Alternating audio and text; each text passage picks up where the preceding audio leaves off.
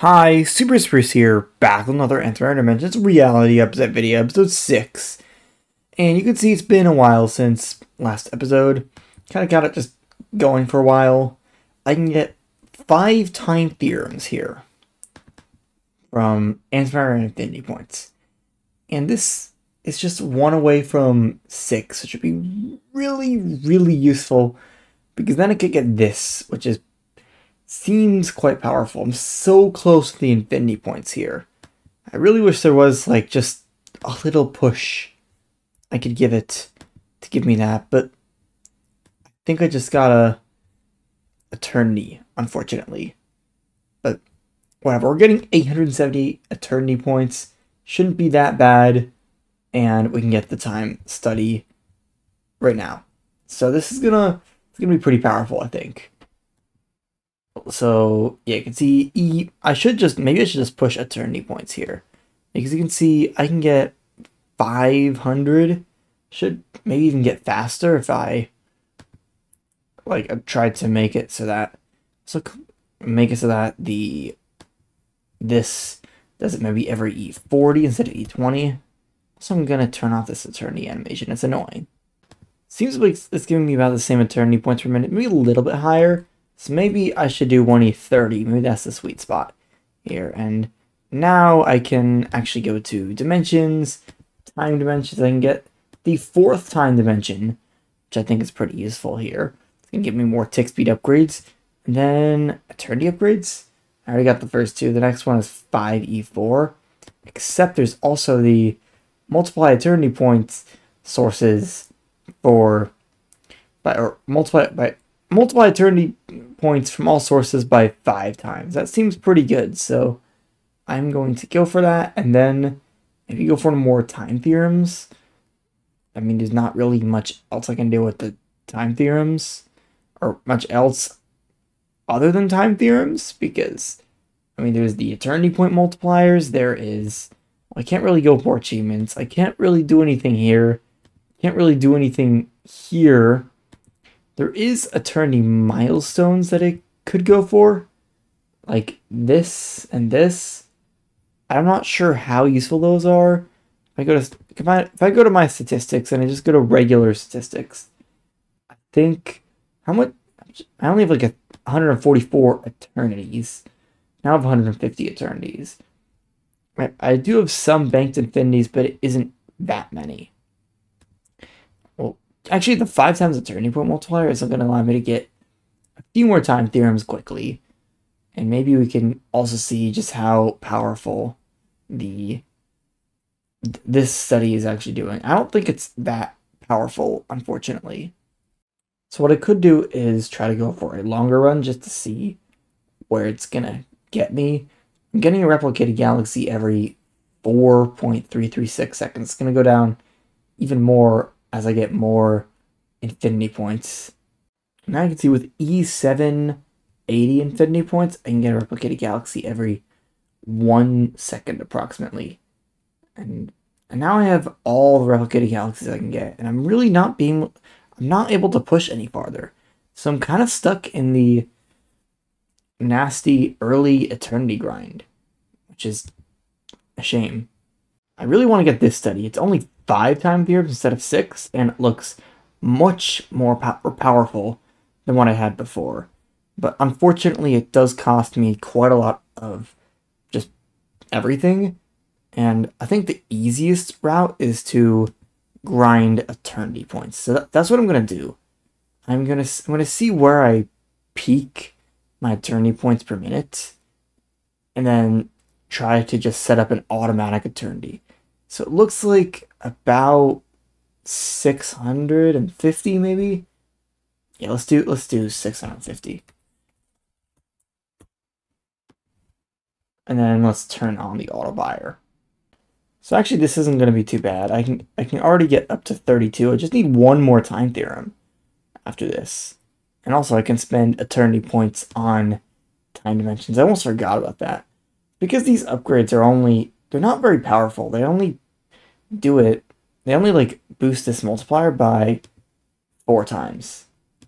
I'm gonna get everything under a thousand though, because I still think that's pretty useful. It's like four times. Four times is like five or so tick speed upgrades. So I guess that'll do something. It'll be significant. So I'm going to just wait for one more eternity because of this eternity upgrade that gives me an infinity dimension multiplier.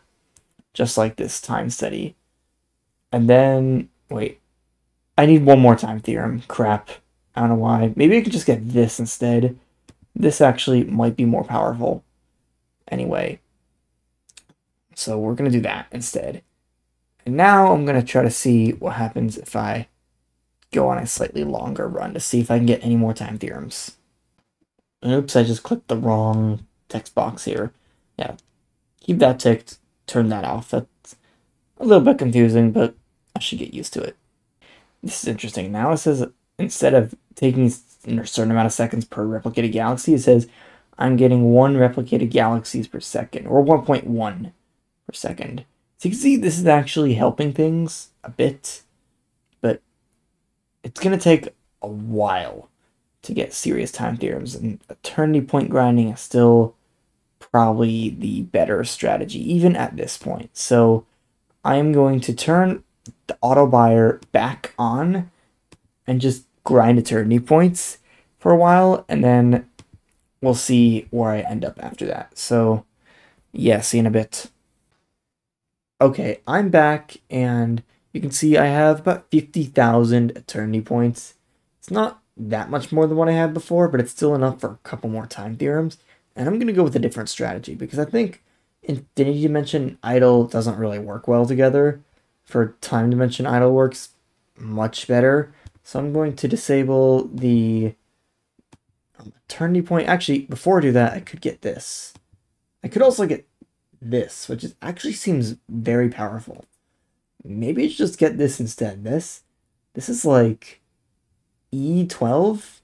Maybe I just want that especially considering the fact I have another eternity point multiplier. And then maybe after that, I will respec my time study tree and try to go for the long run of time dimensions. Okay, here we go. I can get this multiplier, and I think it's going to be significantly faster to gain. Maybe not a turn. Okay, maybe, yeah, eternity points do seem faster. It seems like Optimal's almost at 100,000 eternity points now. Plus, I'm going to get a bunch of time dimensions here. I can get this, this, this. I can even get one more here. And I could get another time theorem. I'm not sure if that's useful because I calculated this is 5, 11, 14, 17. I have 33.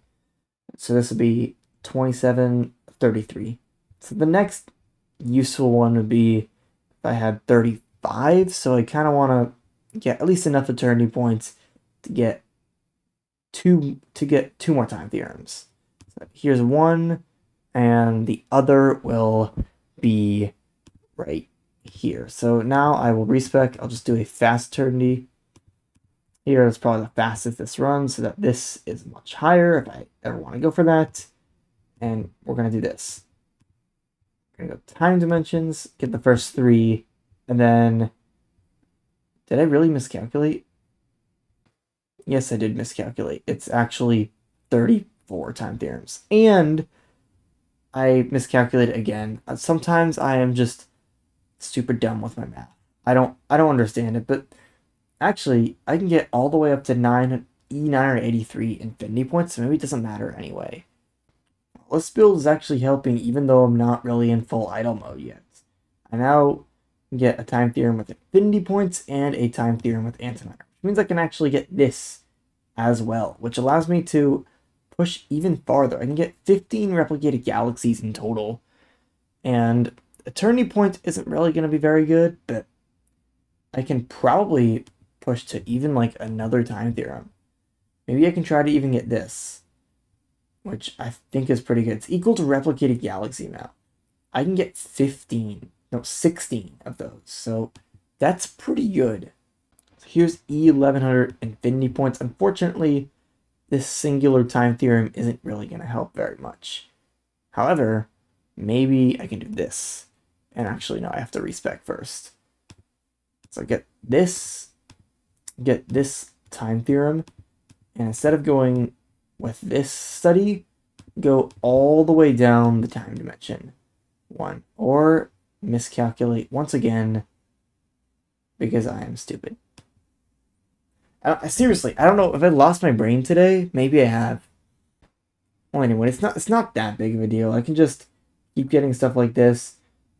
I I'm even gonna get these. I'm gonna get these too. It's not that expensive. Well, anyway, finally I can get this last time theorem and get this upgrade. And hopefully this is gonna be good in the long run. I'm not. I think I, I'm just going for time theorems here. I could grind eternity points, but that's boring. It's more interesting to do this. It's not really going to give any immediate results because time time dimensions really help more when I leave it going for a long time.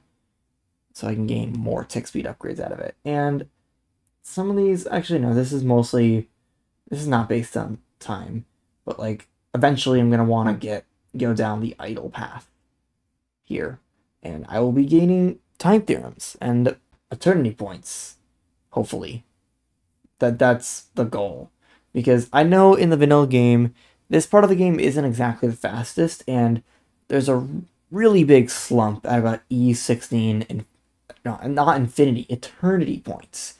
And and you don't really get out of that slump until like around E25, where it just gets faster and faster and faster And eventually you get study 181, which is, you know, the over- overpowered one. And it keeps getting faster and faster.